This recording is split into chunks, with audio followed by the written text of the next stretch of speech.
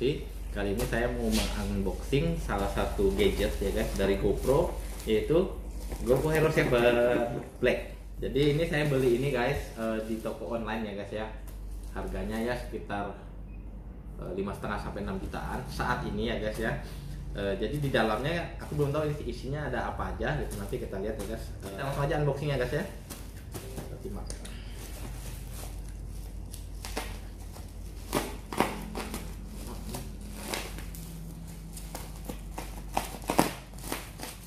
Unboxing gaya barbar.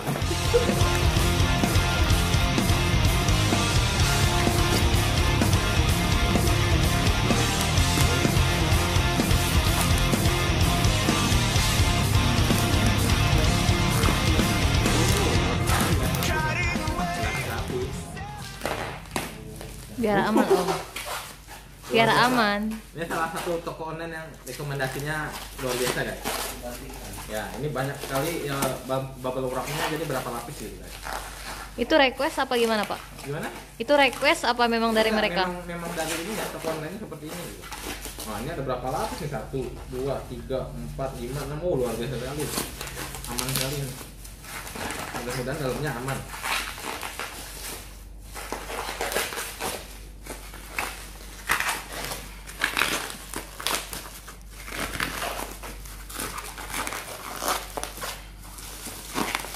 Lihat guys, tebal ininya apa? Tebal bubble wrapnya seperti ini guys. Jadi luar biasa ini. Salut saya untuk toko online-nya luar biasa. Tada, ini dia guys, GoPro Hero 7.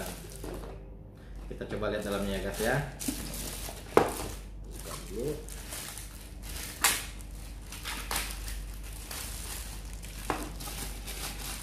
Ini dia gadgetnya.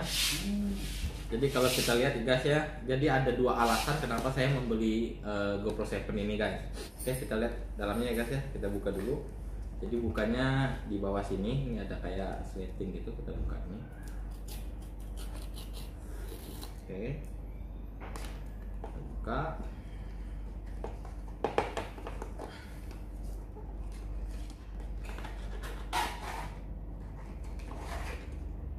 Wow. Oke.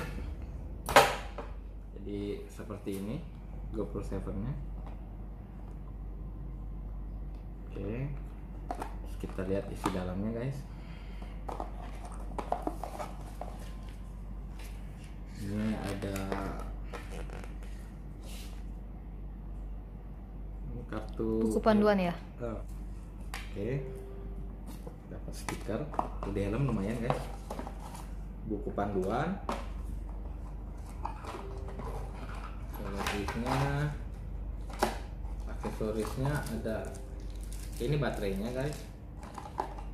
Baterai. Oke ini untuk eh, apa dudukan GoPro nya ada yang ada dua guys. Yang satu yang flat mount yang satu yang curve jadi kalau kalian lihat ini agak ini agak cembung guys. Sisanya untuk eh, apa? Kabel data chargernya. Ya hanya itu guys yang kita dapatkan dari GoPro Hero 7 eh, Black eh, seharga sekitar 6 jutaan. Oke kita lihat dulu. Ini untuk bukanya ini ada ini guys ya. Apa ada karetnya. Jadi kita buka naikkan ke atas dulu terus kita buka seperti biasa. Agak susah tekan ini dorong oke. Ini dia GoPro 7 nya kita buka ya guys. Case nya oke. Ini katanya udah ini apa eh, defaultnya udah anti air sedalam 10 meter guys. Nanti kita coba ya. Oke ini dia GoPro nya ini pelindung kacanya ya ini.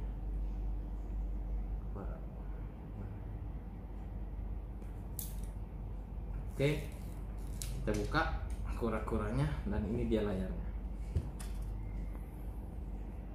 Ya cuman ini aja guys untuk unboxingnya. Nanti eh, saya kasih tahu alasannya kenapa saya memberi GoPro Hero 7 ini.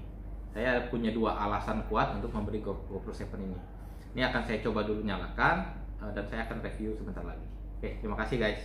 Ini di unboxingnya. Oke guys, jadi eh, sesuai yang saya katakan ada dua alasan kenapa saya membeli GoPro 7 ini. Yang pertama adalah fitur dari eh, hyper smooth-nya, hyper smooth yang kayak kita menggunakan gimbal itu yang pertama. Yang kedua dia ada fitur namanya time warp. Jadi dia tuh semacam hyperlapse tapi lebih smooth. Jadi beda dengan hyperlapse, jadi time warp ini lebih ini apa? Lebih smooth jalannya. Penasaran kan seperti apa? Nanti akan saya bandingkan antara hyperlapse dengan time warp ini, guys.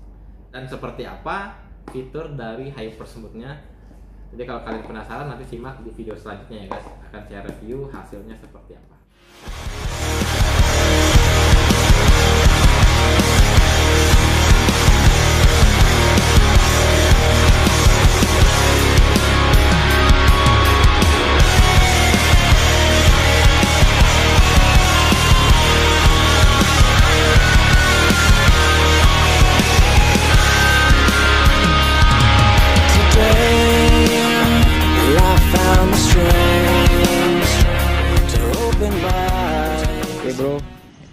Ini lagi ngetes hyper speednya GoPro Hero 7.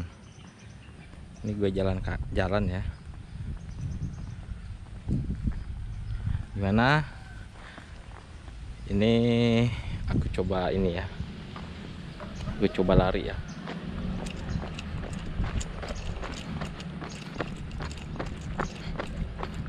Oke. Oke. Nah, ini coba lari lagi ya.